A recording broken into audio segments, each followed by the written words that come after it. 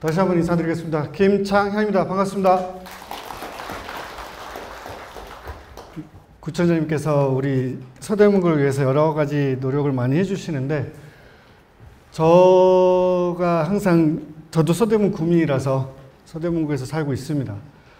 근데 제가 정비사업 제가 제 소개를 간략히 드리면 제가 97년도부터 지금까지 정비사업 일을 해오고 있고요. 도시계획 쪽에서 일을 좀 많이 하고 있습니다. 그래서 현재 오늘 강의들이 이 국공유지 계획 기반 시설이나 국공유지 철에 대해서 과연 얼마나 도움이 될까? 제가 정비사업 전문관리업체에서 근무를 하면서 가장 정비업체가 잘해야 되는 게 첫 번째가 조합원들 관리라고 생각을 하거든요. 그 다음에 가장 먼저 사업 시행과 때 준비를 잘해야 되는 게 토지의 처분, 국공유지나 사유지에 대한 정확한 처리 문제를 하지 못하면 사업 시행 인가가 제대로 이루어지지 않고요. 사업 시행 인가가 이루어지지 않으면 그만큼 착공의 지연이 많이 발생을 합니다. 그러면 제가 여러 가지 말씀을 드리면서 오늘 식사들은 하셨습니까? 어, 저는 아직 못 먹었습니다. 오늘 축구도 하던데 8시부터 중국하고 꼭 이겨야 될 텐데요. 제가 약 1시간 정도 제가 2시, 2시간 강의를 하는 중에 1시간 정도 쉬는, 쉬는 시간을 거쳤다가 최대한 빨리 8시 반 전에 끝내도록 하겠습니다. 그게 더 좋겠죠? 네, 알겠습니다. 지난번에 2시간을 쉬지 않고 했더니 제발 좀 쉬었다 하자고 여러 번 민원이 들어와서 이번에는 바꾸기로 했습니다.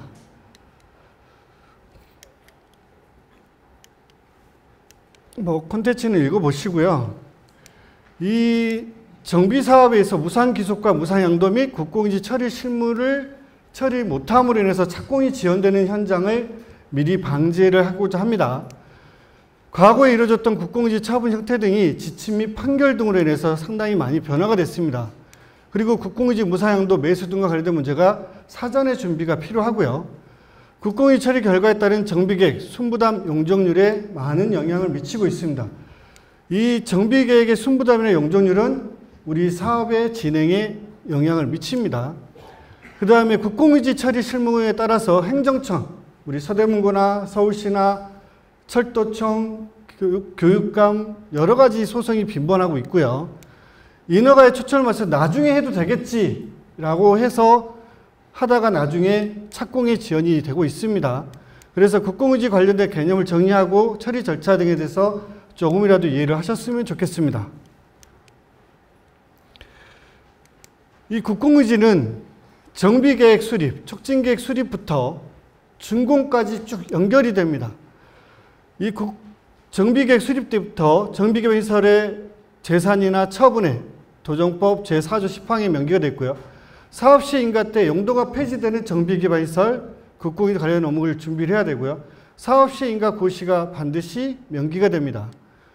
그 다음에 관리처분 계획에서 처리가 되고 이주 및 철거, 착공, 그 다음에 준공까지 연결이 되고 있습니다. 이 큰 컨텐츠는 이렇게 되지만 세부적으로 들어가면 굉장히 복잡합니다. 이 국공유지가 많으면 많을수록 이득금은 줄어듭니다. 제가 98년도 시흥 벽산타운, 이제 금천구 거를 하는데 거기는 국공유지가 99.9%였습니다. 시유지 특별회계.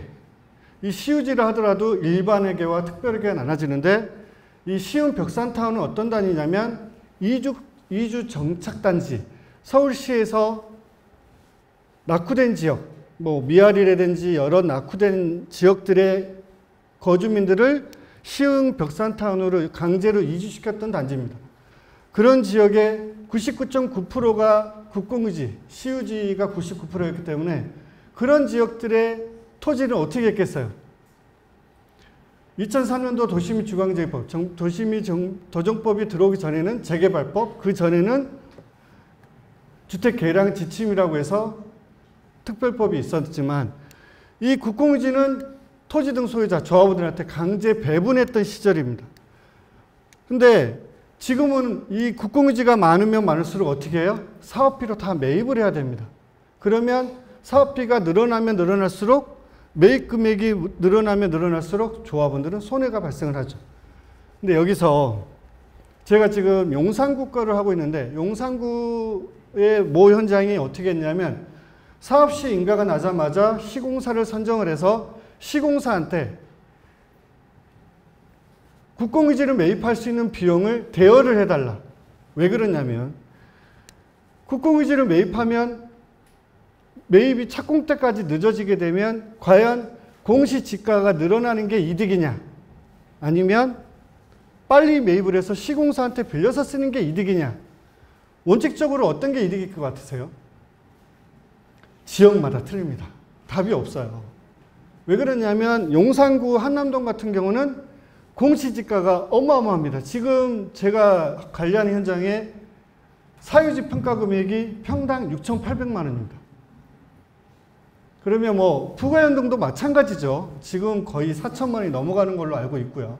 그러면 그만큼 국공유지 매입 비용이 늘어나면 늘어날수록 사업 경비는 늘어나겠죠. 조합원들의 이득금은 줄어들 수밖에 없습니다. 근데 제가 여기서 또 중간에 말씀을 드리겠지만 이 정비 사업의 모든 거는 뭐예요? 우리 구청장님 말씀하신 것처럼 사업 기간이 최대한 단축이 되면 그만큼 이득은 생기는 건 맞습니다. 제가 정비사업 전문가일체 근무하면서 조합 설립부터 입주까지 가장 빨리 시켜본 현장이 5년 5개월이에요.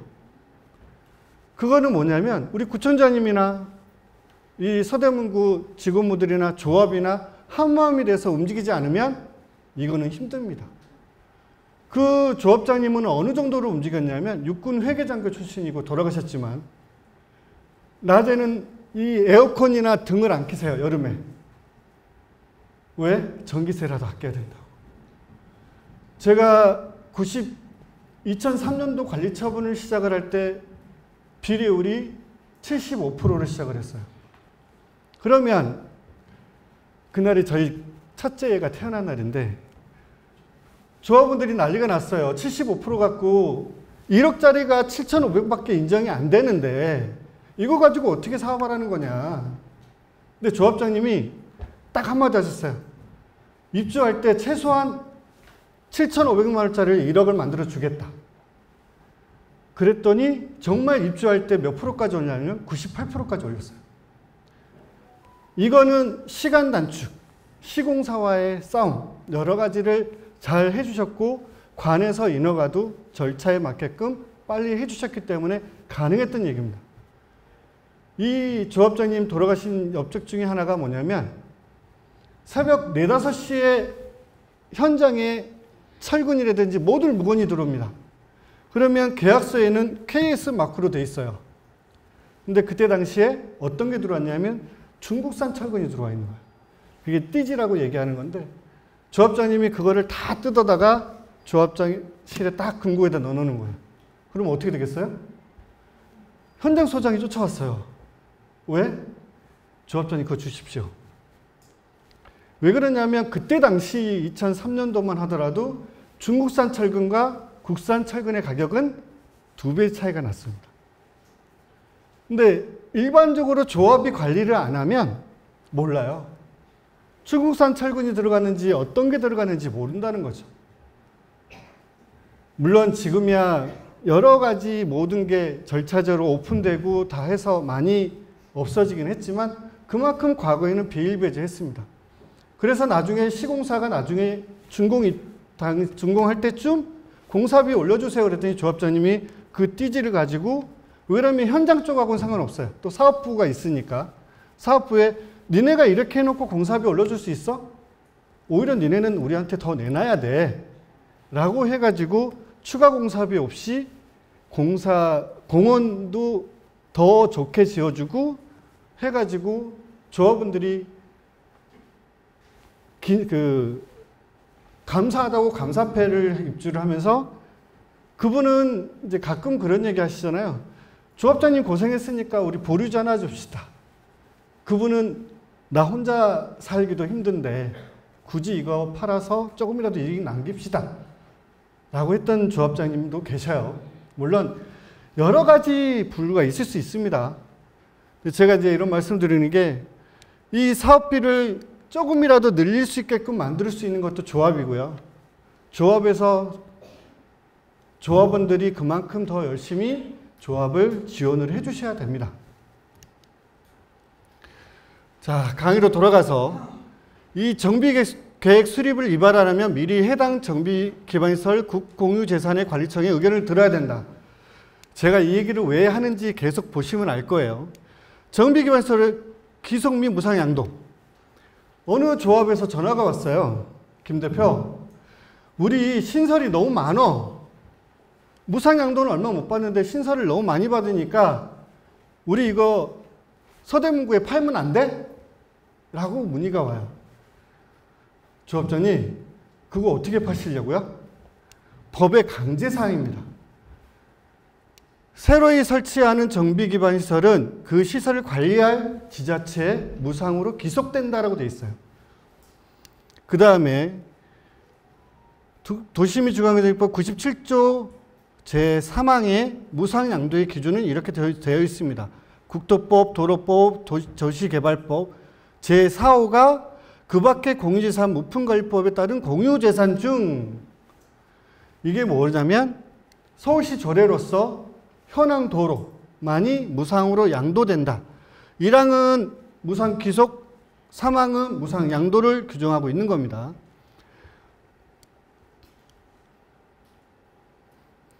그 다음에 유일하게 도정법에서 정한 사항 중 음, 죄송합니다. 유일하게 금액 대 금액으로 교환한다는 것은 이 규정밖에 없습니다. 무슨 얘기냐? 새로이 설치되는 비용이 예를 들어 500억이다. 무상이 양도되는 게 100억이면 100% 100억만큼 무상양도를 할 수 있습니다. 하지만 새로이 설치자는 게 100억이고 무상 양도 받는 게 300억이다. 그러면 100억만큼만 무상 양도 받게끔 법에 규정을 하고 있습니다. 설치 비용에 상당하는 병, 상당한 범위에서 그에게 무상으로 양도된다. 이게 왜 나왔냐면 강남구의 모 재건축 현장이 신설되는 정비 기반 시설이 없어요. 재건축이다 보니까. 그 대신 단지와 단지 사이에 있는 도로가 있어요. 그래서 그 도로를 구청을 상대로 무상으로 주세요. 라고 소송을 했더니 법에서 판례가 나와서 최종적으로 법으로 정리된 케이스입니다.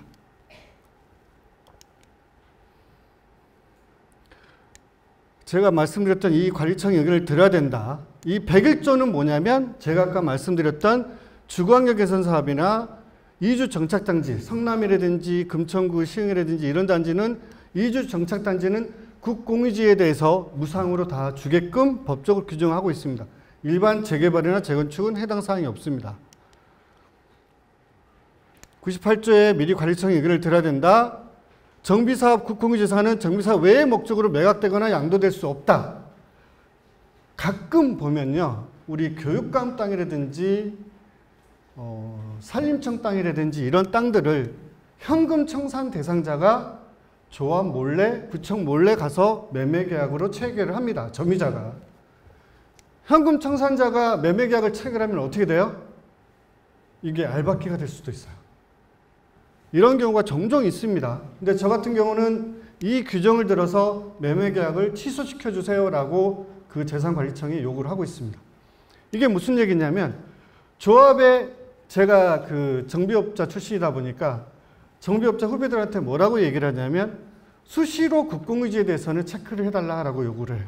무슨 얘기냐?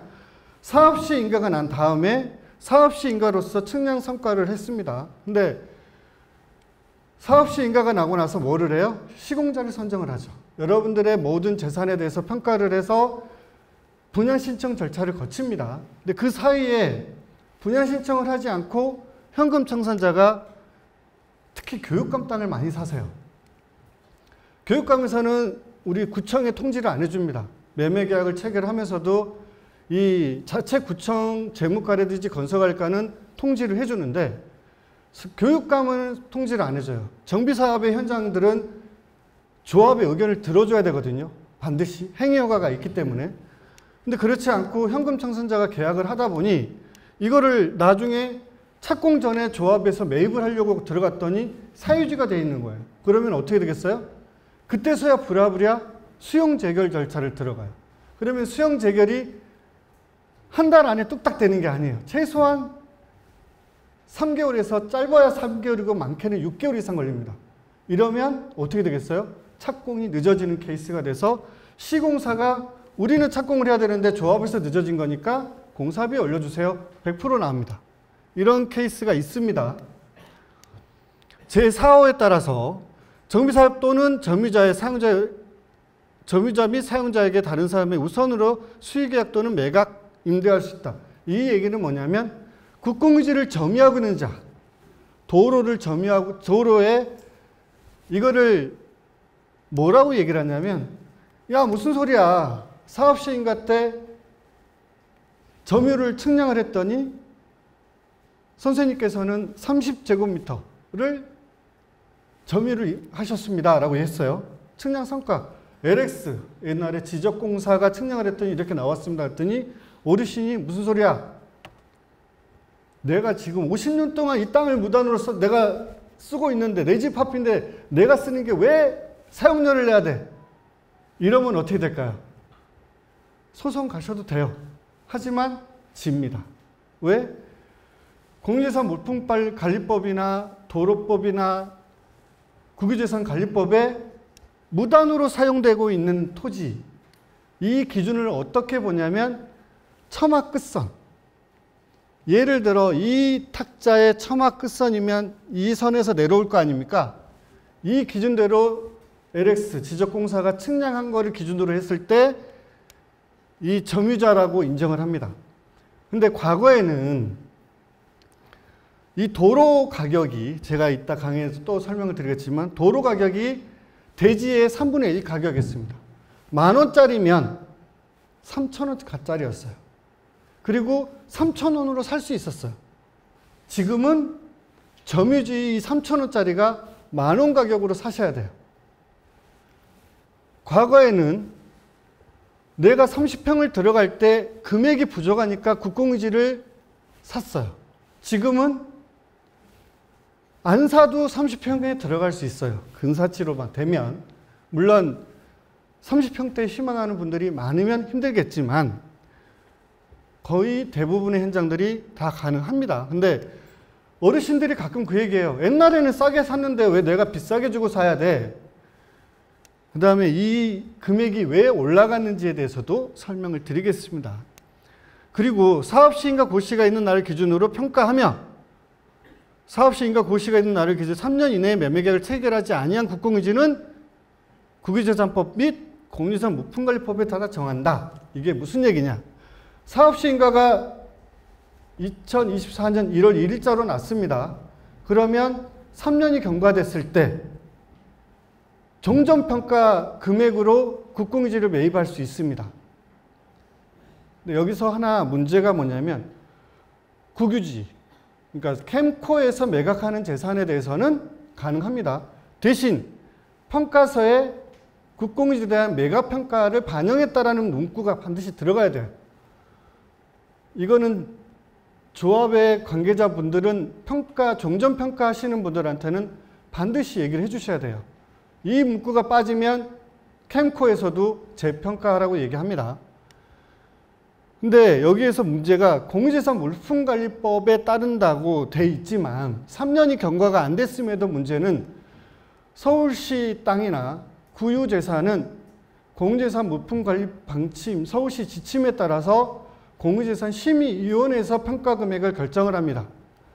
즉 무슨 얘기냐 사업시인가 고시가 있는 날을 기준으로 종전평가에서 국공유지 평가를 시우지를 평가를 1억을 했더니 서울시 공유재산 심의위원회에서 1억 3천만 원을 만들 수도 있다라는 것을 말씀을 드립니다.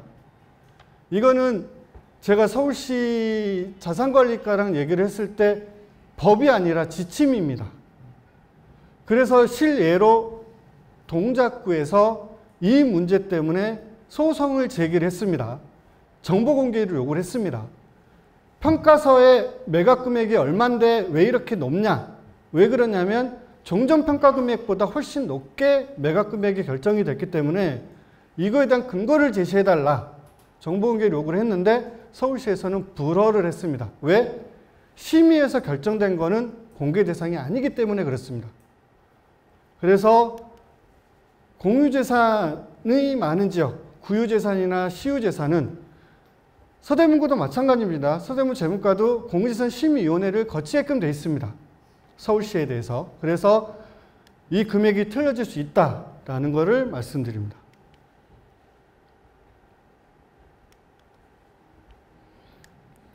유일하게 도정법 97조 사망 사호에 따른 조례 개정을 해준 게 서울시밖에 없습니다. 무상으로 양도되는 도로는 일반인의 통행에 제공되어 실제 도로로 이용되고 있는 부지. 이거를 뭘로 증명을 할까요?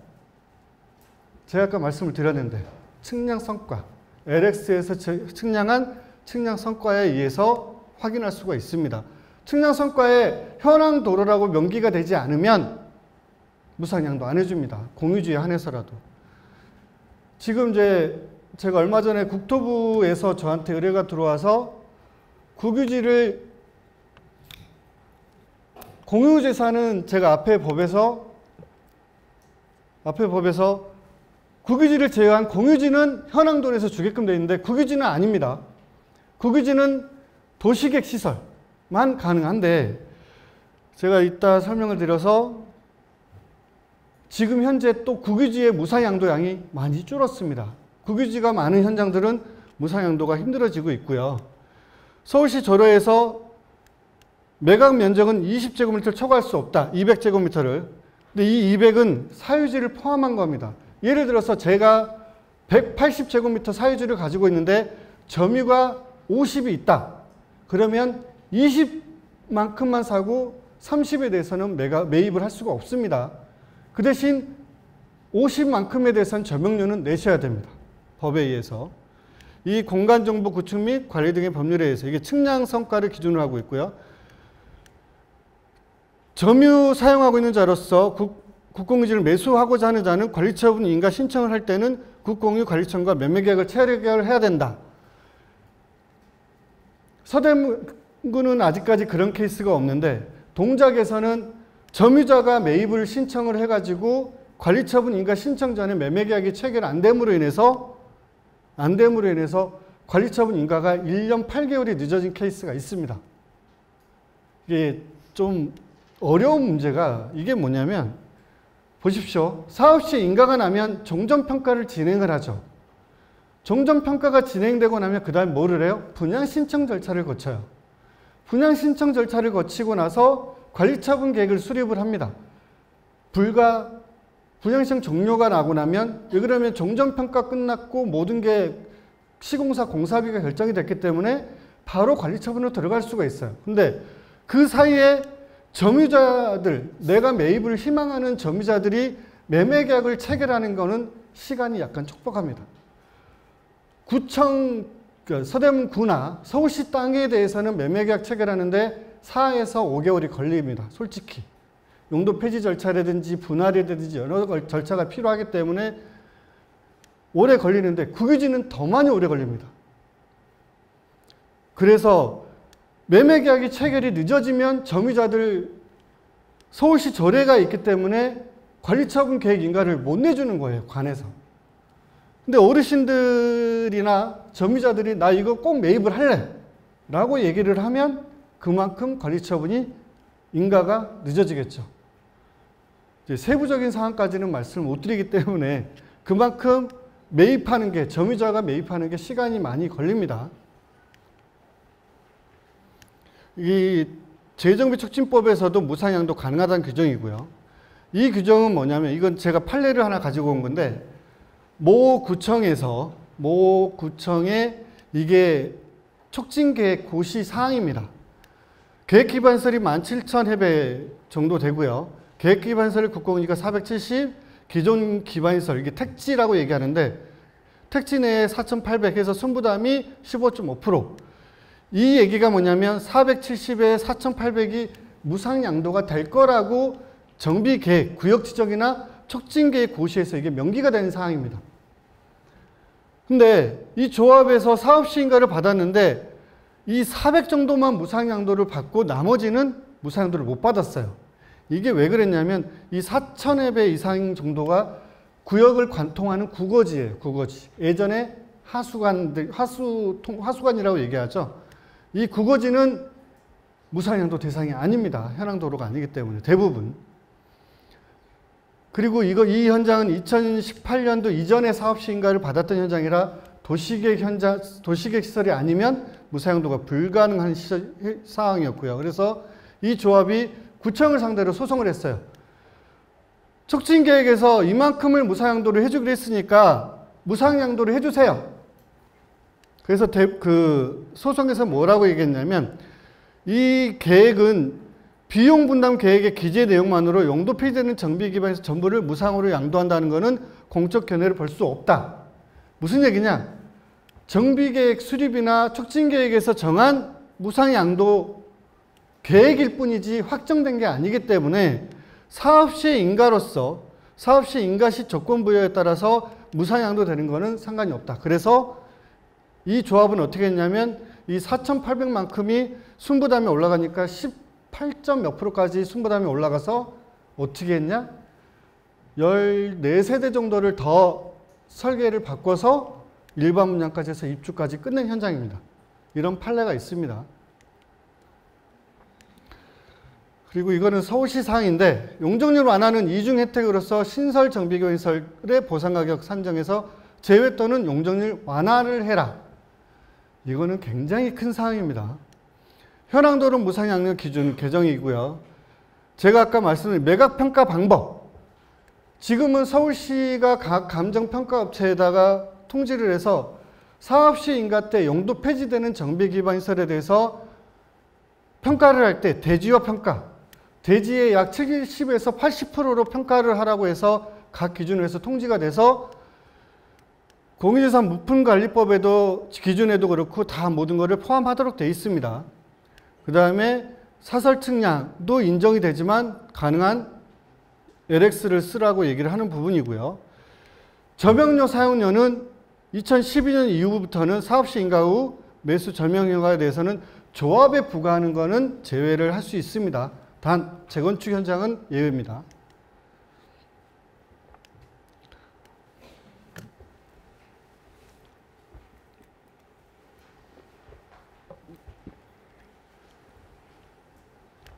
이 사항은 지금 판례를 제가 명기를 해놓은 건데요. 지금 국유지에 대해서는 도시관리 계획으로 결정되어 설치된 국가 또는 지방 소유의 도시시설이라고 해서 과거의 현황도로는 애초에 무상 대상이 아니므로 이게 국유지는 현황도로에 대해서는 무상양도를 안 해주고 있습니다. 그래서 제가 얼마 전에 국토부에서 자문이 와서 현황도로에 대해서 국유지 국토부에서 좀 풀어달라고 얘기했더니 국유재산은 불가하다고 했고 대신 주차 시정, 주차장 같은 경우는 풀어줄 수 있게끔 한번 해보겠다라고 얘기를 했습니다. 그래서 그건 향후에 두고 볼 문제고요. 이게 지금 예전에 재건년이라고 해서 2010년도에 대법 판례가 나온 건데요. 여러분들의 평가 방법은 도정법에 분명히 명기가 되어 있습니다. 무슨 얘기냐? 여러분들이 대지가 예를 들어서 100제곱미터인데 50은 대지로 쓰고 있고 50은 도로로 쓰고 있으면 이거를 산술 평균해서 지적공사가 측량을 해서 산술 평균해서 대지로 쓰고 있는 부분과 도로로 쓰고 있는 부분을 합산해서 평균을 냅니다. 왜 이런 얘기를 하냐면 가끔 보면 옆집하고 나하고 붙어 있는데 옆집은 단가가 세요. 내 집은 싸요. 왜 그러지? 이제 궁금할 거 아니에요. 캐시 마크가 나와요. 딱 보면. 왜 그러냐면 대지의 효용 가치가 틀리다는 얘기입니다. 저도 이제 부동산학도 하고 도시계획을 하다 보니 배운 건데요. 현황에 의하여 평가하도록 평가 방법이 명기가 되어 있는 게 여러분들 사유지에 대해서는 이용 상황에 대해서 평가를 하도록 법에 되어 있습니다. 도심주거정법에 여러분들의 감정 평가 방법은 편기가 되어 있어요. 그런데 국공의지에 대한 평가 방법은 도시주거정법에 어디에도 없어요. 제가 앞에서 명기된 것처럼 정정평가에서 3년이 더가 되면 그 내용밖에 없어요. 어떻게 이용 사항대로 평가해라 어떻게 해라라고 명기된 게 아무것도 없습니다. 그래서 대법에서 사업시인가 고시가 있는 날 기준으로 이를 평가를 규정한 취지라고 보일 뿐 그 시기에 현황에 의하여 평가하도록 평가 방법까지 규정한 것은 아니기 때문에 패소를 했습니다. 그래서 국공유지에 대한 평가도 현황대로 평가를 해달라고 소송을 제기한 거지만 패소를 했습니다. 그 다음에 제가 아까 말씀드린 변상금. 내가 30년 동안 이 도로를 써왔는데 왜 내가 이 사용료를 내야 돼? 라고 주장하시는 분들 꽤 많습니다. 하지만 법에 의해서 공유재산 무품관리법이나 국유재산법, 도로법에 의해서 내가 무단으로 30년 동안 써온 거지만 30년 동안은 부과를 하지 않습니다. 5년 동안 그러니까 사업시 인가가 난 이후로 인지한 날로부터 5년인데 대부분 매수 시점, 매각 시점이 나누기 지점까지 해서 5년 동안 소요 기간별로 부과를 합니다. 여기서 문제. 현금 청산자가 내가 사용료를 낼까요? 나는 지금 조합원도 아니에요. 난 딴 데 가서 사는 사람이에요. 나는 그만큼 이 현장에 이득이 생겨서 팔고 나간 사람이 너 그동안 2년 동안 점유 사용료 거주했으니까 네가 소유를 했으니까 이 사용료 내 라고 하면 낼까요? 제가 이 얘기를 왜 말씀드리냐면 우리 캠코 그러니까 자산관리공사를 캠코라고 얘기하는데 캠코 담당관들하고 얘기를 하다 보면 가끔 속 터져 미쳐요. 이 점유자한테 끝까지 받아내고 내야 이 변상금이 완납이 돼야 매매계약을 체결하고 매매계약이 체결이 돼야 착공을 할 수 있습니다. 그런데 이 변상금 그 사람이 낼 때까지 기다려요. 그래서 저희가 가서 싸워요. 조합에서 대납할게요. 사업비로 대납해서 끝내겠습니다. 안 됩니다. 그래서 어떻게 한지 아세요? 구상권을 청구하지 않겠다라는 캠코의 조합에 각서를 제출해야지만이 그 변상금 고지서를 조합에 줘요. 자, 수천억, 수백억 공사를 하는 이 정비 사업에서 몇십만 원 때문에 사업을 못 가는 상황이 되는 거예요. 이 상황이. 몇십만 원, 몇백짜리도 있습니다. 미납자도 많으니까. 근데 현금 청산자가 너 이거 내. 조합에서는 구상권이라는 걸 청구할 수 있습니다. 실제 캠코에다가 구상권을 청구하게 하지 않겠다는 조합의 공문각서를 제출하다 했다 하더라도 캠코에다 소송을 제기하는 게 아니라고 현금 청산 나간 그 소유자한테 청구를 하면 받아낼 수는 있습니다. 그런데 여기서 문제 소송 비용이 더 들어가요. 이게 문제죠. 그래서 대부분 사업비로 모든 것을 정리를 합니다. 그래서 국공유재산 도로의 평가 기준은 그 시기의 현황에 의하여 평가하도록 평가 방법까지 함께 규정하기 어렵습니다. 그래서 대부분 돼 있고요. 아, 지나갔군요. 그 다음에 이거는 공유재산 관리 지침이라는 것도 있고 이 지침도 재밌는 게 사업시행가 시 사업시행 공유재산을 매입하기 전까지 일체 착공은 불가능합니다. 재개발, 재건축 경우 매각 금액은 사업시행 기준으로 주거용 대지, 서울시랑 똑같이 하고 있습니다. 그래서 서울시에서 감정평가 협회에 대지회, 대지화 가격으로 평가를 하도록 명기가 되어 있습니다.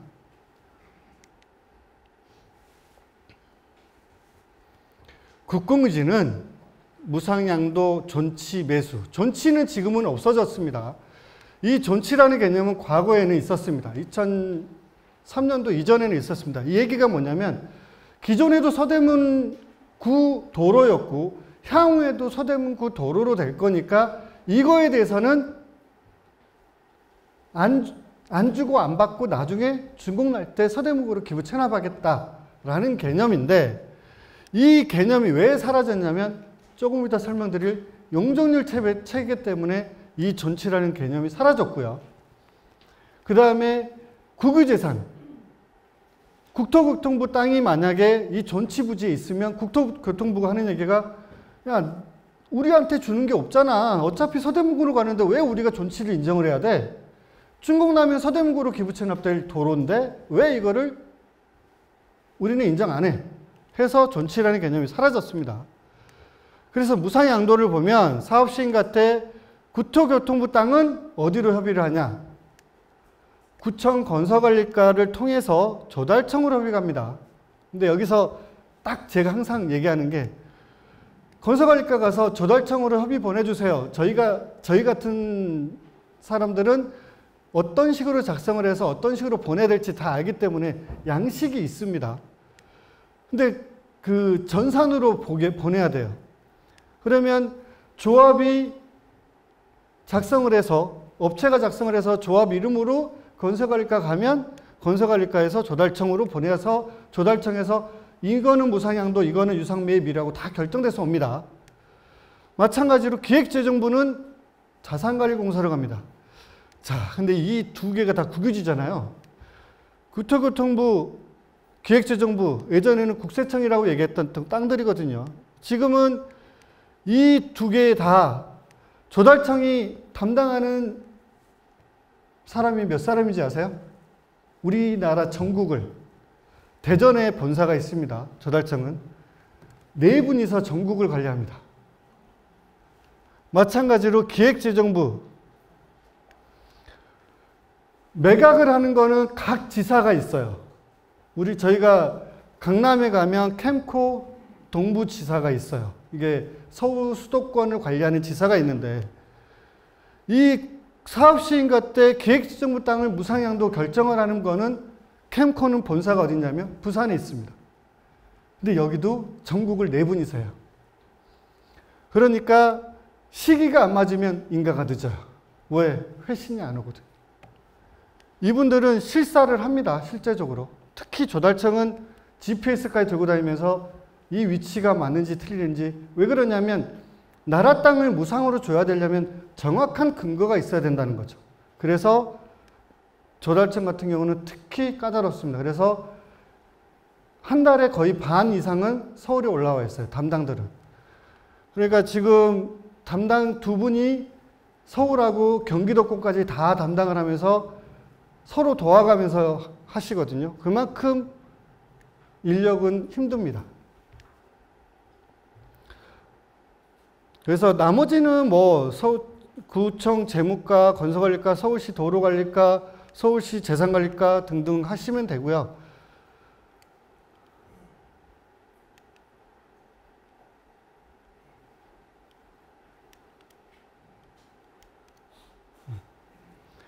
제가 여기서 국공유지에 대해서 분리를 하면 이렇게 설명을 드렸잖아요. 그러면 이 기타 관리청이 뭐가 있을까요? 철도청, 산림청, 교육청. 근데 교육청은 어디 교육청일까요? 서울시 교육감이라고 하든지 서울시 교육청이라고 표현을 하거든요. 근데 교육청은 지금은 그나마 도시및 주광제법을 인정을 합니다. 작년까지는 인정을 안 했습니다. 근데 이 제가 우리 서울시 강의를 하면서도 말씀을 드렸던 게 정비 계획을 하던가 사업 시행가 때 반드시 이 계획지정부나 구토, 구토교통부나 구청 땅은 협의가 쉽게 가요. 근데 이 기타 관리청을 잘못 가는 경우가 있습니다. 우리 서대문구도 철도 용지가 많죠. 근데 사업 시행 인가 때나 정비 계획 수립 때 뭐만 가냐면 시설관리 부서만 가요. 즉, 재산관리 부서하고는 안 간다는 거예요.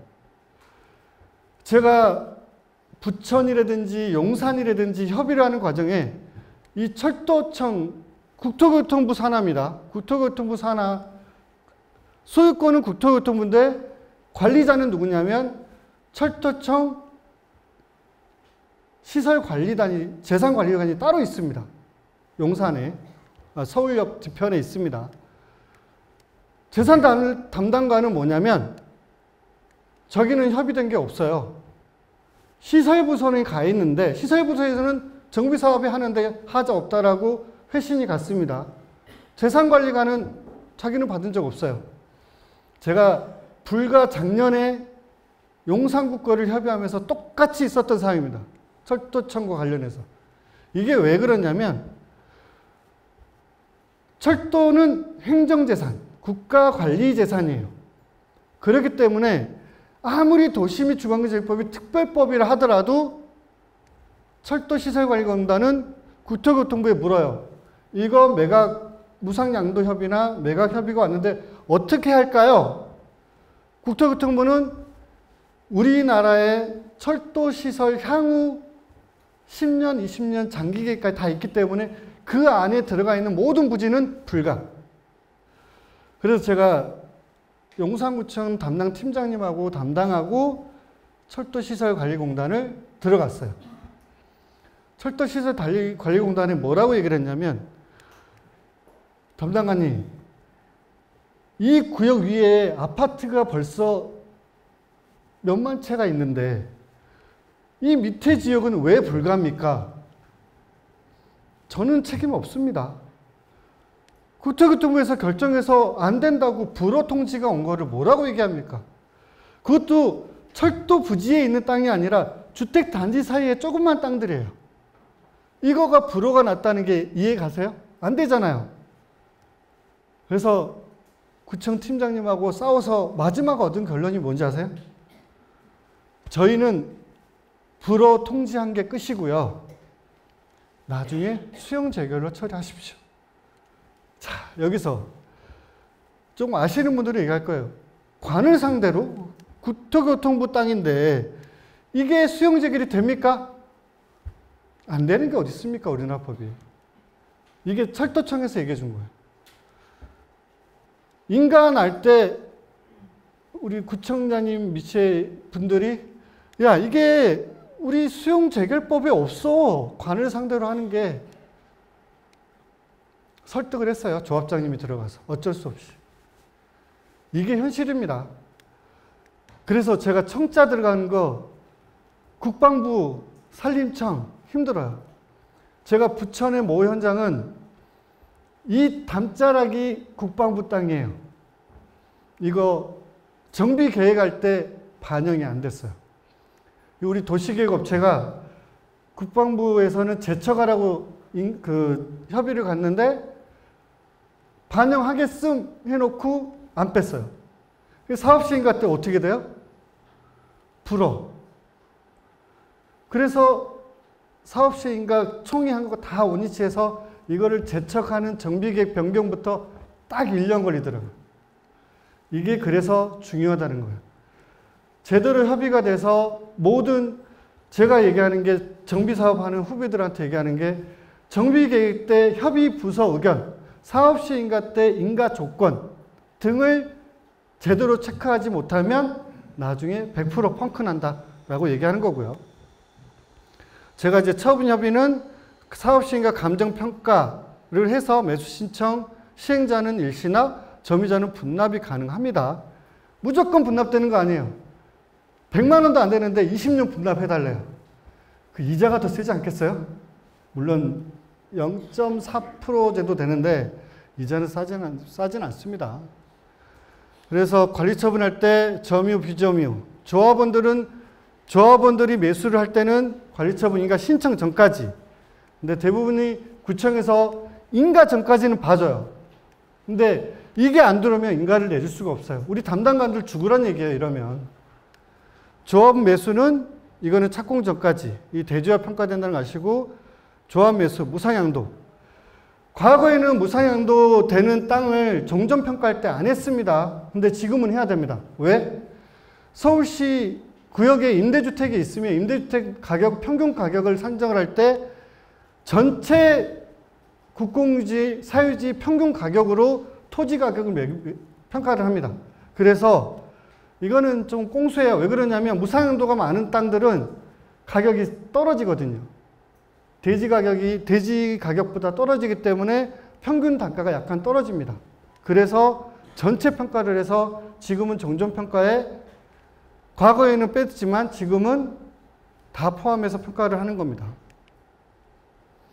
이게 과거에 2003년도 조정법 생기기 전까지는 다 통용됐던 겁니다. 이 법에 의해서 다 평가를 했는데 4년 전에 동대문구에서 어떤 일이 있었냐면 이 법에 따라서 자 여기서 딱 구분을 해주시는 게 국유지와 공유지를 분리를 해주셔야 돼요. 자 이것만 설명하고 잠깐 10분 쉴게요. 이 공유지에 대해서는 현황 도로면 지금 무조건 무사용도가 됩니다. 제가 앞에서 말씀드린 조례 개정에 따라서 하지만 국유지, 국토교통부 땅이나 캠코 자산관리공사에서 관리하는 땅은 과거에는 이거를 인정을 해줬어요. 이 도로법에 따른 도로관리청이 노선 인정 공고한 도로. 이게 뭐냐면 1994년, 96년부터 해서 서울시에서 각 구별로 우리 25개 구청에 도로 노선 번호가 있어요. 1번, 2번, 3번 도로 뭐 해가지고 각 구별로 도로 번호가 있습니다. 이거는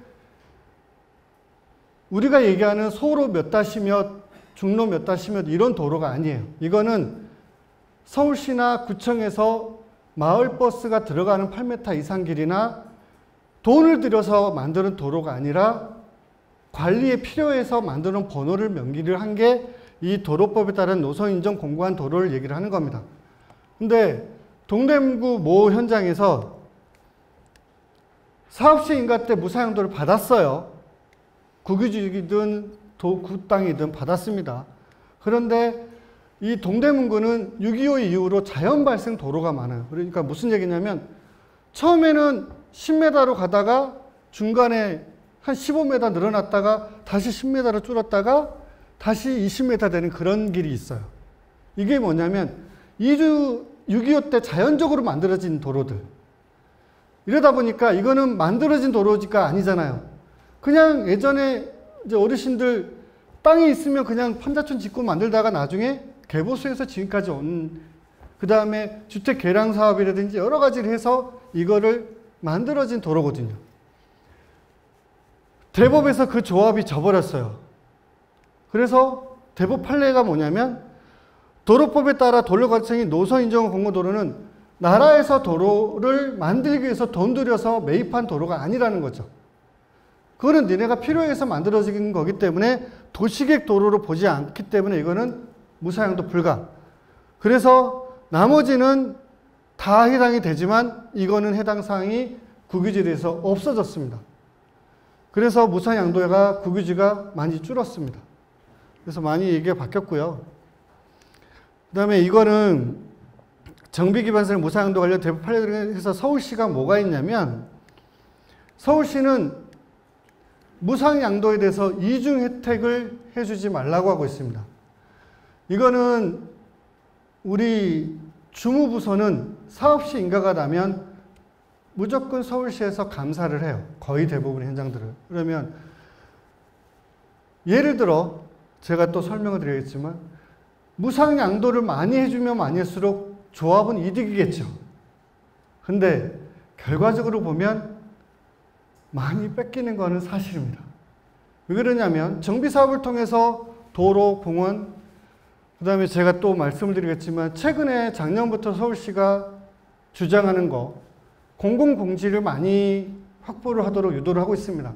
근데 이거는 조금 어폐가 좀 저는 있다고 저는 주장하는 게 뭐냐면 용적률을 못 찾아먹은 현장들은 어떻게 해야 되죠? 기반 시설을 많이 만들면 많이 만들수록 조합원들은 이득이겠지만 많은 기반 시설을 내놓으면 내놓을수록 또 역지사지로 사업성은 떨어지게끔 되어 있습니다.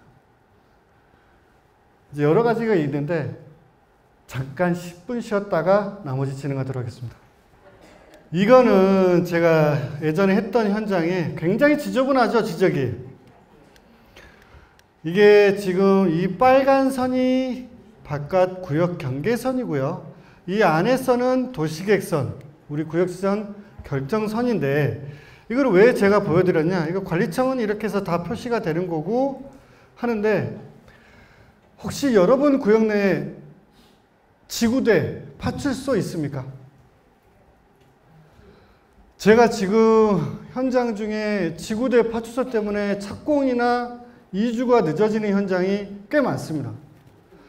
뭐냐면 이 지구대 같은 경우는 뭐가 있냐면 건물도 자기 게 아니고 땅도 자기 게 아닌 것도 많아요.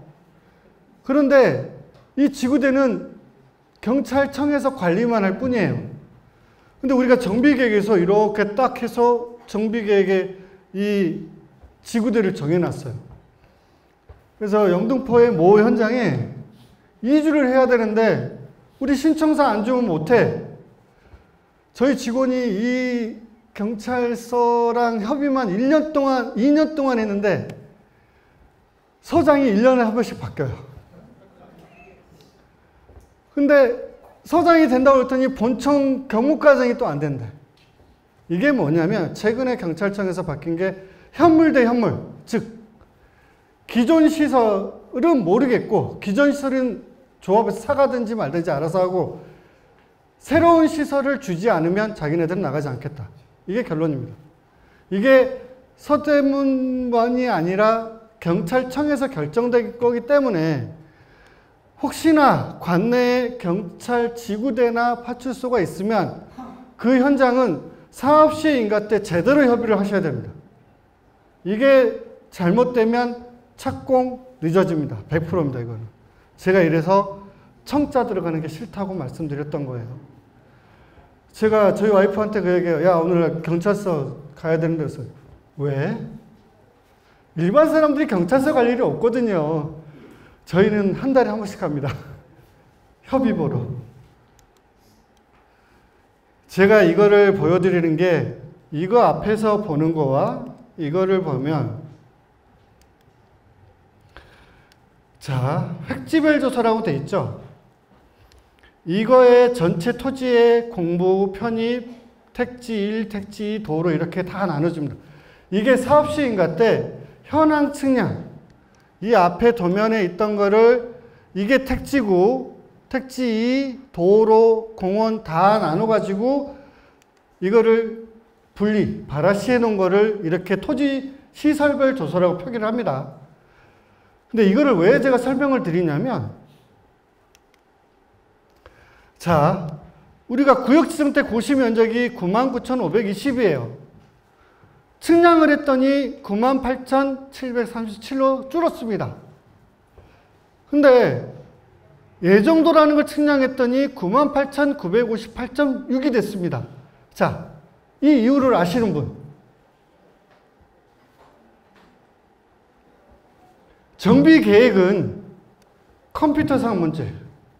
우리가 설계나 도시계획에서 우리 땅을 컴퓨터로 그려봤더니 99,520이 나온 거고요.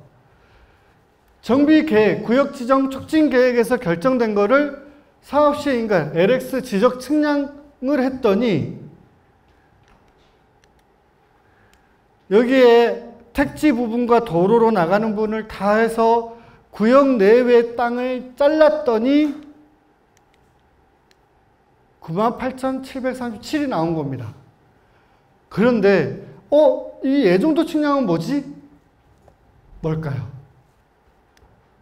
이 예정도 측량이라는 거는 우리 구역의 토지가 건물은 어차피 철거될 거니까 크게 저는 신경을 안 써요. 토지가 수백 개 있는 토지를 합을 한 게 과거에 일제시대 1919년도에 일제시대 일본이 만들어놓은 일제 동경좌표를 기준으로 해서 측량법이 나와서 만들어진 게 우리나라 여러분들의 토지 대상의 면적입니다. 예? 근데 컴퓨터상 면적으로 구역 내외를 안, 측량을 안 해보고 컴퓨터상으로 만들어진 게 99,520이에요. 그러면 98,737은 뭐냐면 필지별로 합을 해보니 98,737이 나왔어요. 그러면 700제곱미터만큼 구역 면적이 감소가 된 겁니다. 여기에서 사유지는 거의 줄지 않아요. 사유지는 동작 뉴타운처럼 재정부 촉진주구처럼 필지볼로 자르는 게 아니라 도시계획 선대로 자르다 보니 조합원이 1구역도 있고 2구역도 있고 3구역도 있고 이러지 않는 이상은 구역 면적이 크게 틀리지 않습니다. 이렇게 면적이 바뀐 거는 도로나 국어나 구역 내나 외 땅들이 있기 때문에 결정된 거예요. 자, 여기서 제가 요즘에 이것 때문에 도시계획이랑 많이 싸우는데 98,958로 면적이 늘었어요. 그렇죠? 고시 때보다는 줄었지만 현황 측량 면적보다는 늘었어요. 200 정도만 늘었죠. 우리 조합장님이 야 여기에서 제가 딱 문제를 드리는 게 아파트 부지 면적이 8만에서 7만 9천에 줄었어요. 근데 예전 후 면적은 9만 7만 9천으로 약간 한 100여 배 정도 늘었습니다. 이거를 왜 하는 거냐면 우리 아파트를 설계해서 계획을 할 때 이 7만 9천을 기준으로 면적을 하는 게 아니라 7만 9,333을 가지고 아파트를 계획을 합니다.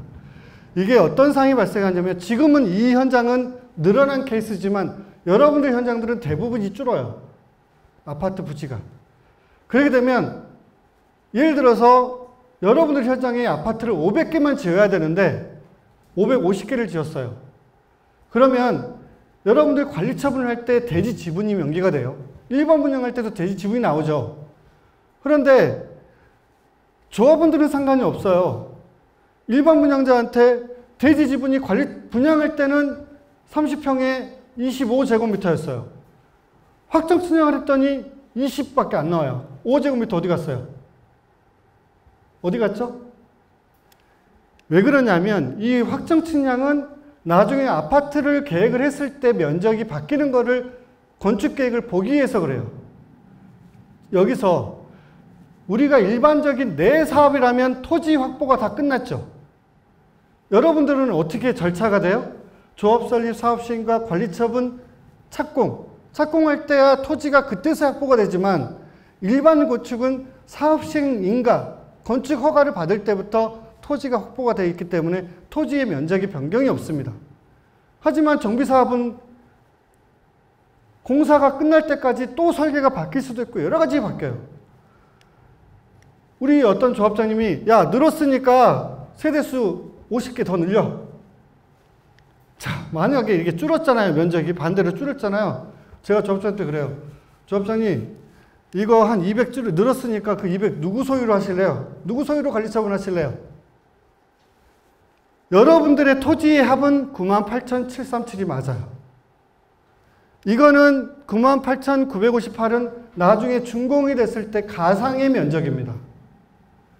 왜 그러냐면 공사가 완료되고 나면 우리는 입체 환지라는 좀 어려운 용어 좀 쓸게요. 저도 저도 배웠으니까. 여러분들 토지에 있던 게 아파트로 돼서 소유권이 권리환, 아파트로 소유권이 바뀐다고 얘기해요. 여러분들 이주비 받으면 입주할 때까지 다 바, 갚을 수 있어요? 여러분들 이주비 하면? 못 갚죠? 그러면 그 근저당이 어디로 가요? 아파트로 바뀌잖아요.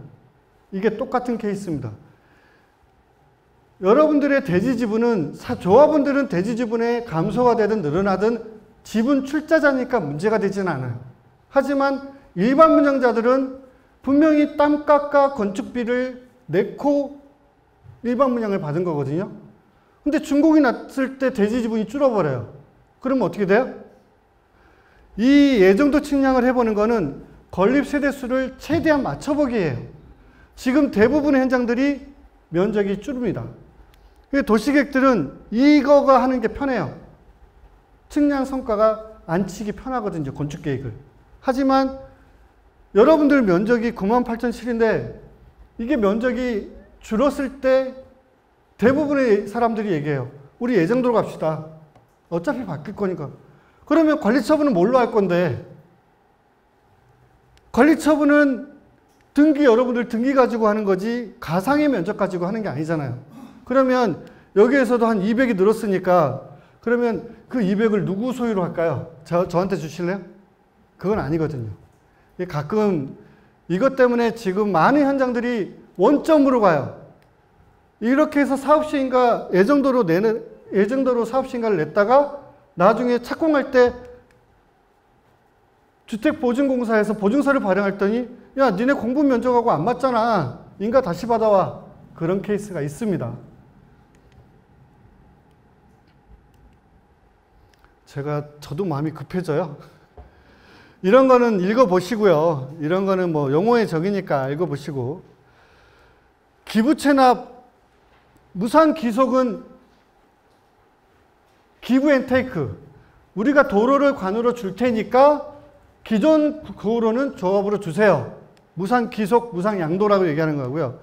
기부채납은 give and take가 아니라 무조건 기부입니다. 이거는 왜 제가 설명을 드리는지 설명을 드릴게요. 이거는 이제 마음이 바뀌었으니까 읽어보시고. 우리 보조금 규정이 있는데 재정비 촉진지구는 보조금 대상이 아닙니다. 용적률을 서울시에서 많이 줬다고 주장하기 때문에 보조금 대상이 아닌데 대부분의 이 보조금 대상이 되는 지역들은 고시상의 용적률이 허용이 250%까지 가능한데 인가를 220%밖에 못 받은 현장들 이런 지역만이 보조금이 가능합니다. 이 공공시설물 기부채납 용적률 토지와 건물을 줄 수 있게끔 되어 있습니다. 근데 문제는 지금 이거를 좀 완화를 할 건데 이 가중치가 좀 틀립니다. 가중치가 좀 틀리고요. 즉 뭐냐면 동청사나 아까 얘기했던 파출소나 여러 가지 시설을 기부 체납 또는 공공공지 같은 거를 기부 체납했을 때 용적률을 더 주겠다라는 서울시 계획입니다. 근데 제가 아까 구청장님 대해서 좀 말씀을 드릴까 말까 고민했던 부분인데 서울시가 지금 어떤 얘기를 하냐면 제가 작년에, 재작년에 성북구의 모 현장 기름역에 가면 이상갈비 옆에 십몇 층짜리 주차 타워 있는 거 보셨죠? 그게 주차 타워가 주차장이 아닙니다. 용도가. 분명히 주차장으로 만들어진 건물이에요. 그런데 그 소유권을 보면 자산관리공사, 서울시, 성북구, 국토부 출자로 만들어진 주차 타워입니다. 거기가 이제 그 텍사스를 이제 개발해서 거기가 인허가를 제가 진행을 하다 보니 주차장으로 돼 있으면 무상 양도를 해보려고 제가 했던 건데 무상 양도 대상이 아니에요. 그래서 약 3천억 정도를 조합해서 매입을 해야 되는 되, 돼서 늦어지게 된 케이스가 있어서 말씀을 드립니다. 이 용적률 체제는 제가 원래 이거를 가장 많이 시간을 할애를 하거든요. 근데 어려워요. 어렵고 힘든데 이게 뭐냐면 마지막만 말씀을 드리면 제가 아까 판례를 설명드리면서 전체 구역 면적이 제가 이거 실제로 했던 현장이라서 말씀드리고 이거는 일반 재개발, 재개발 현장입니다. 6만 3천 중에 택지가 4만 5천 정교 뭐 해서 신설 기반 시설이 1만 3천 꽤 많이 6만 3천 중에 1만 3천이면 거의 20%가 되죠. 거기에 무상양도는 5만 5,400밖에 못 받았습니다. 이 현장이 구릉지예요. 삼성교 밑에 구릉지인데 해서 이 건물 이중 시설로 해서 지하는 주차장, 지상은 공원으로 해서 결정돼서 용적률을 했는데도 용적률이 허용은 270 몇 프로지만 실제 용적률은 220%밖에 못 찾아먹는 현장입니다. 이렇게 해서 결정됐던 현장인데 서울시는 어떻게 하고 있냐면요. 서울시는 예를 들어 여러분들 구역 지정할 때 용적률이 230%지 않습니까? 용적률이. 그래서 도로 내놓고 동사무소 지어주고 공공공지로 해가지고 250%까지 지어주게끔 해요. 그러면 자 여기서 똑같은 케이스로 뭐 쉽게 설명을 드리면 여러분들 임대 아파트를 시공사에 공사비를 줄 때 얼마를 주죠? 여러분들 공사비 똑같이 주죠. 지금은 거의 800, 900 주니까. 그쵸? 하지만 임대 아파트를 더 지어주면 서울시한테 파는 금액은 어떻게 주는지 아십니까? 적습니다. 실제적으로. 왜 그러냐면 토지값은 전체 국공유지나 사유지 평균 단가로 계산해서 토지 국공 임대 아파트 면적 산술 평균에서 계산하는 거고 건축비는 표준 공사비. 지금 7월 1일부터 해서 표준공사비는 국토부가 좀 올린다고는 하고 있습니다. 정비사업의 재개발 현장에 대해서는. 재건축은 조례 개정까지 해야 되기 때문에 어렵고요. 하지만 약간 현실화 시킨다 하더라도 공사비 지금 현재 시공사의 공사비만큼은 미치지 못하는 현실이고요. 그래서 이 용적률 체계가 뭐냐면 새로이 설치되는 게 500억입니다. 하지만 무상 양도 받은 게 300억이에요. 그러면 200억 갭이 있죠. 그러면 가끔 조합에서 물어요. 그 200억만큼 구청에서나 서울시에서 주면 안 돼? 자, 여기에서 또 하나가 플러스 되는 게 용적률이 인센티브라는 거예요.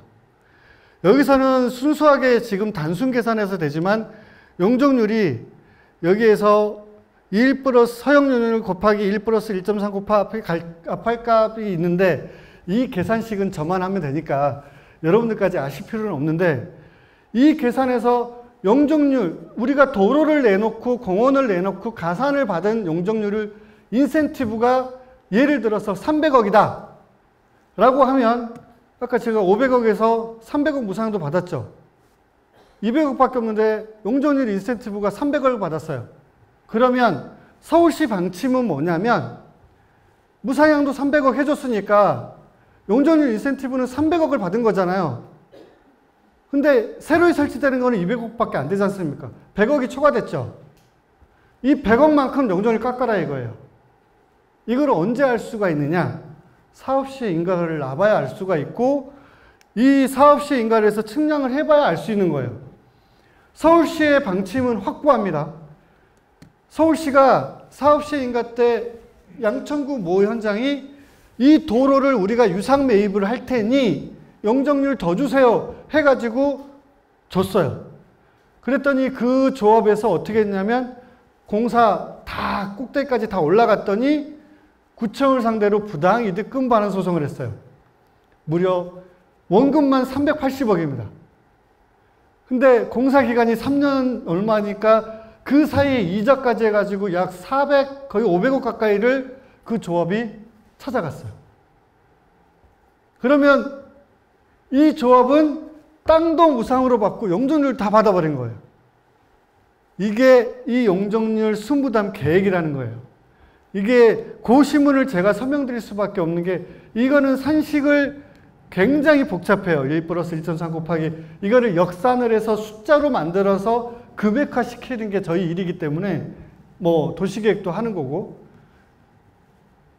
자 다시 한번 정리를 하면 새로이 설치되는 도로 공원을 만들었더니 그게 500억이에요. 우리 기존의 그 구역 내 도로가 무사용도 대상이 300억 있어서 200억이 끝난 줄 알았더니 용적률 인센티브를 더 받았다 이거예요. 무슨 얘기냐? 기존 용적률이 210에서 240으로 올라갔으면 200% 20% 올라갔죠. 이 20%만큼가 인센티브라고 서울시는 주장을 하는 겁니다. 그래서 이 20%를 금액화 시키는 거예요. 금액화 시키다 보니 어떻게 돼요? 100억이 초과됐으니까 용적률 깎거라. 아니면 더 내놔라. 이게 사업시 인가 때 알 수가 있는 사항입니다. 그래서 굉장히 어려운 문제지만 이게 현실이기 때문에 이거를 간과를 해서 나중에 그냥 어떤 상황이 발생하냐면 모르니까 조합은 모르잖아요. 여러분들 모르잖아요. 저희가 나중에 인가 조건으로서 추가로 기부 체납하겠습니다라고 해요. 그래서 여러분들 조합의 관계자분들은 인가 조건을 제대로 봐달라고 얘기하는 게 그 이유예요. 여러분들 사업시 인가 조건이 거의 3, 40장, 많게는 60장 정도 됩니다. 인가 조건. 일반 조합원들은 몰라요. 즉, 무슨 얘기냐면 우리는 인가서만 봐요. 세 장짜리. 우리 현장에 사업시 인가가 났습니다 해서 인가서만 봐요.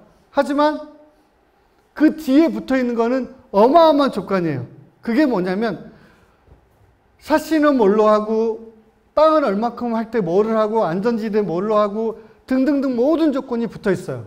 착공을 하기 전까지 준공 나기 전까지 어떻게 하라는 모든 조건이 붙어 있는데 인가 났으니까 우리 에라디아 끝이에요.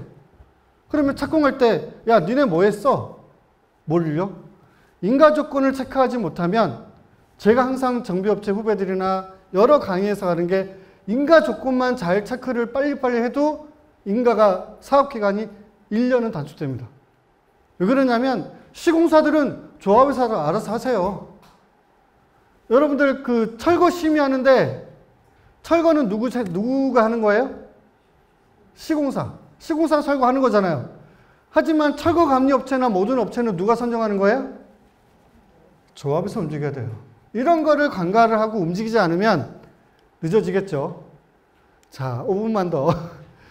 이거는 양식에 있는 건데 이 안에 용도 폐지되는 조서의 앞장과 뒷장에 모든 게 다 들어가 있습니다. 도면, 측량 성과도, 감정 평가서. 이 안에 측량 성과도에 이거는 도로입니다. 이거는 점유입니다. 이거는 화단입니다라고 측량 성과 조서에 표기가 안 되면 무상양도 안 됩니다. 이거를 정비업자 여러분들 현장에 대부분 베테랑들이 나와 있지는 않을 거예요. 그렇죠? 저같이 제가 97년도부터 이렇게 일을 했으니까 이사급이나 대표들은 알죠. 근데 이제 한 3년, 4년 된 정비업체 후배들 한 회사에 많아야 3년일걸요? 그쵸? 이렇게 얘기하면 안 되는데 제 후배들이 가끔 너무 답답해요. 이런 거를 하나를 체크하지 못해서 문제가 돼서 측량 성과 잘못돼서 수정하고 돈 더 들어가고 하는 케이스가 꽤 많습니다.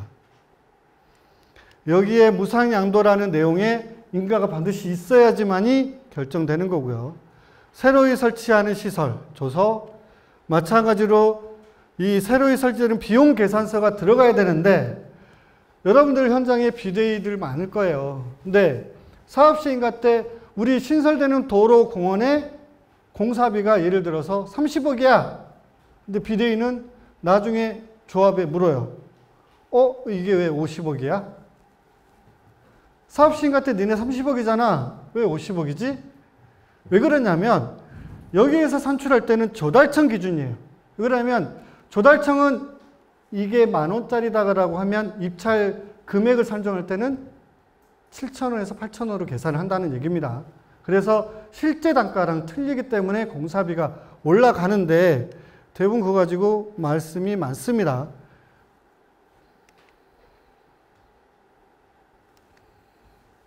이게 이제 원투라 이거는 이거를 작성을 정비업체에서 잘 못하는 경우가 많고요.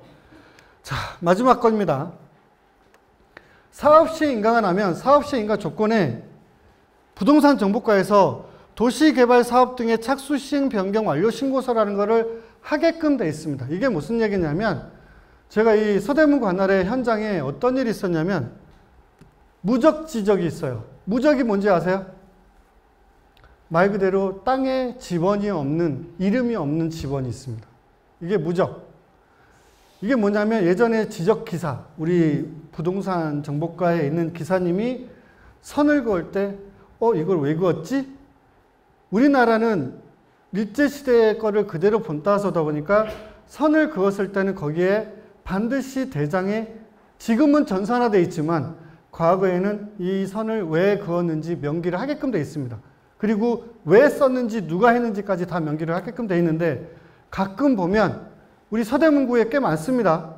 서대문구에 무적이나 부호가 있는 게 있어요. 가, 나, 아니면 기억, 니은. 이거는 가지번이라는 거예요. 이거는 법에 따라서 국토교통부가 됐던 서울시로는 절대 안 줍니다. 구청으로도 안 주고. 대부분이 국토교통부나 자산관리 공사로 넘어가게 되는데 이거를 정비업체가 사업시 인가가 나면 부동산 정보과 신고를 해야 해야 측량 성과를 마음대로 조합해서 할 수가 있습니다. 무슨 얘기냐? 구역 내외 되는 거를 실수를 방지하기 위해서 하는 건데 사업 시 인가가 나서 정비업체나 조합들은 제가 아까 말씀드렸죠. 사업 시 인가 났으니까 ALR이가 끝났어. 이제 우리 관리처만 하면 돼. 그거 아니에요. 사업 시 인가 났으면 사업 시 인가 이행사항을 해야 돼요. 그러면 우리가 아까 구역 면적에 공부상 면적이 있고 편의 면적이 있죠. 그렇죠? 그러면 사업시 인가가 났으면 편의 면적을 편의 면적과 공부 면적을 일치를 시켜야 됩니다. 왜 그러냐면 우리 구역 면적을 확정을 시켜 놔야 된다는 얘기예요. 근데 이거를 안 하고 그냥 국공유지 매수했어요. 그랬더니 착공을 했더니 어 구역 외에 땅이 생기는 거예요. 무슨 얘기냐? 구역 내와 외에 있는 땅을 정확히 분할을 해서 완전한 내 구역의 땅을 만들어 줘야 되는데 분할도 안 해, 아무것도 안 했어요. 그랬더니 매입만 했더니 구역 내 땅도 있고 외 땅도 있으면 이거 착공 되겠어요? 토지 소유권이 확보가 안 되면 착공은 불가능합니다. 그래서 제가 누누이 말씀드리지만 인가 조건 체크하는 거 기본적으로 해야 되는 거는 많이 있는데 오늘 조금씩 좀 빨리 끝내다 보니까 조금씩 체크를 좀 더 해주시길 바랍니다. 아무튼 고생 많으셨고요. 질문 있으신 분들은 개인적으로 오셔서 말씀해 주셔서 감사드리겠습니다. 감사합니다.